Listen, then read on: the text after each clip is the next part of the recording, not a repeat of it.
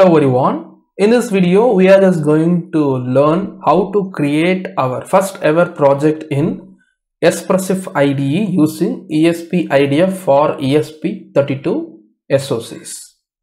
So to start off with, we are just going to learn how to create a basic project in Espressif IDE using ESP IDF for ESP32 and in the next upcoming video we will be discussing in detail about the build configuration tools and various other configuration files like kconfig, SDK config that is generated in uh, Espressif IDE.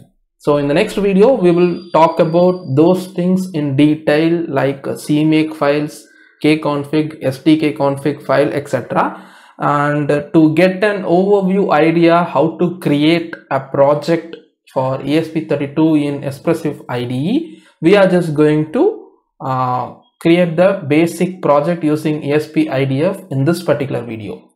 So for that, in the C drive, I have created a folder called SM Academy and inside the SM Academy, I'm just going to create a folder called workspace and inside this workspace only I'm just going to store my project files. So after creating a folder like this just uh, search in Espressif IDE in your PC and open this. And if you are not getting this particular thing just go inside the Espressif folder in the C drive. Where is it? Here it is. And inside the tools folder inside the Espressif IDE 3.1.0 you will get this icon just double click on this for opening the Espressif IDE and click on browse. Inside the SM Academy folder double click on this workspace and click on select folder. Now click on launch. Now the blank project will be created inside that particular workspace folder inside the SM Academy. You can create your own folder uh, before starting your project in Espressif IDE.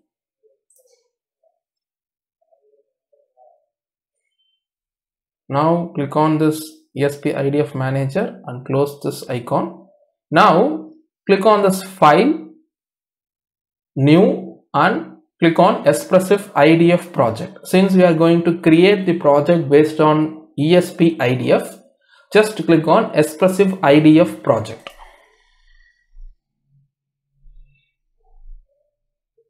and in the first tab that is popping out just give a name for your project. I'm just going to give project 1 and i don't want to fetch any of the examples that is available right over here. So i'm leaving this checkbox unchecked.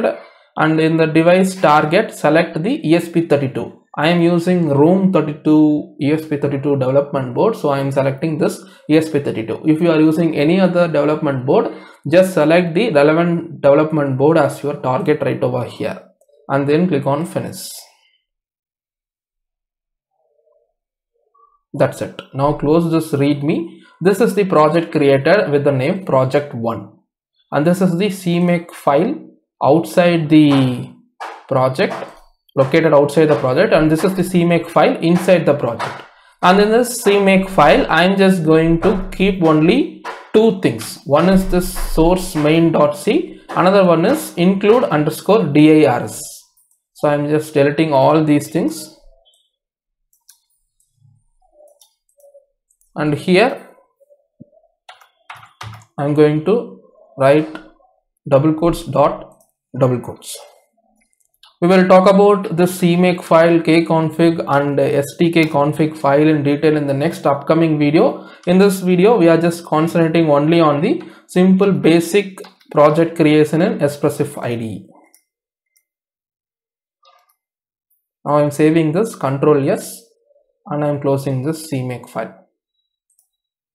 Now open the main file main.c here the program is like inside the infinite loop. This is the main function. We have an infinite loop while of true. And inside the while of true we have hello from app main. So here i'm naming it as sm academy. Hello from sm academy will be printed at an interval of one second. Since one second delay is provided right over here. I'm just saving this now i'm just going to build this project. Click on this and click on the tab project right over here and click on build all. Or you can click control plus b in your keyboard for building everything in the project. So usually this build takes a while. So after the build is complete, we will get an SDK config file generated. In that SDK config file generated, there are few things that needs to be done. So those are basic things I will show you. Then only the build will be successful and then only you will be able to load the flash onto our ESP32 development board. So in the meanwhile, I'm just going to connect my ESP32 to my PC through micro USB cable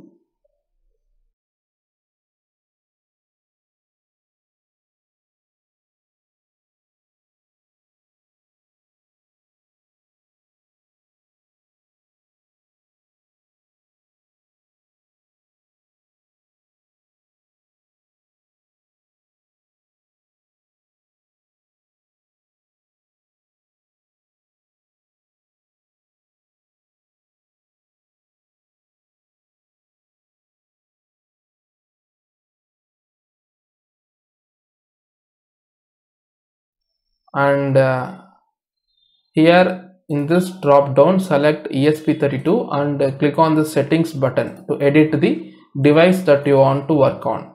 So you can give whatever name you want right over here for your device. And in the drop down here IDF target select ESP32 if you are having ESP32 or WROOM 32 development board.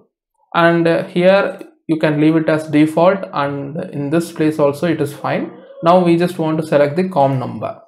So when i click on this you can see there is an silicon labs usb to uart bridge connected to com14 that is my esp32 i have not connected anything to my pc so i'm just selecting this and click on finish.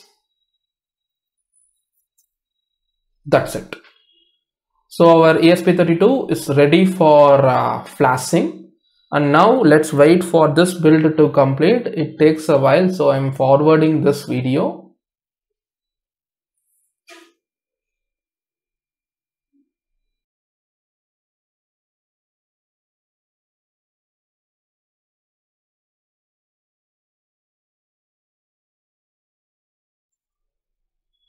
So the build is successful with zero errors and zero warnings. You can see here it is almost done with zero errors and zero warnings.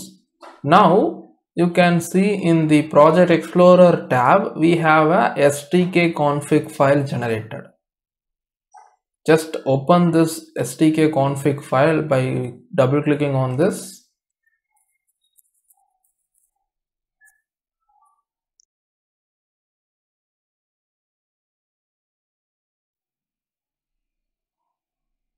and in this uh, SDK config file the first and foremost thing that you want to do is we just want to change the flash memory size.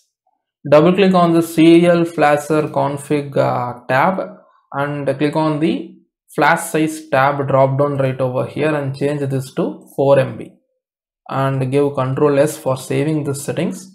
And come to the partition table right over here and click on factory app 2 OTA definitions in this drop down of uh, partition table for making the project support the OTA and give control S for saving the settings.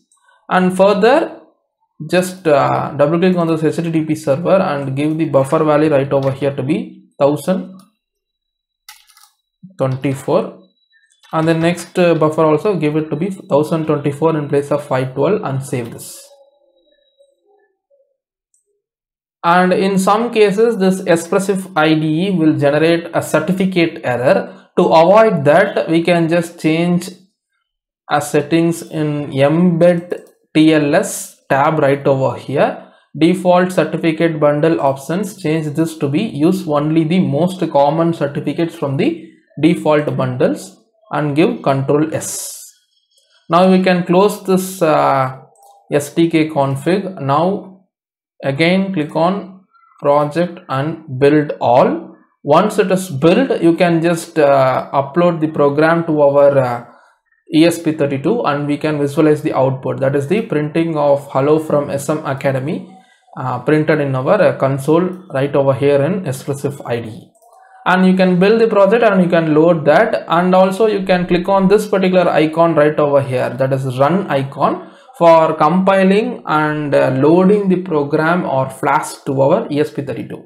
I have already connected the ESP32 development board to my PC through micro USB cable. So I'm just clicking on this particular icon directly for compiling and loading.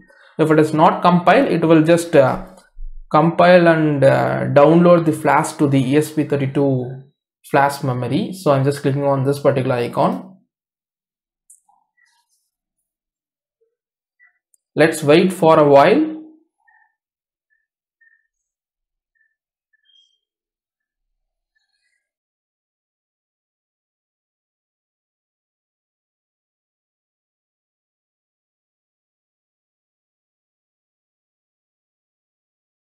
The compilation is successful and now the Espressif IDE is trying to load the Flash program to my Flash available in ESP32 development board you can see the programming is being done and the output is here. Finally the output is here. For every one second i'm getting hello from sm academy exclamation print. So the terminal window available in my Espressif ide is displaying the output from my esp32 or WROOM 32 development board. So this is the program we have just printed hello from SM Academy exclamation for every one second. So this is the test program that we have written and we successfully got the output. So I hope you learned how to create the first ever project in Espressif IDE using ESP IDF in this particular video. See you in the next video. Thanks for watching.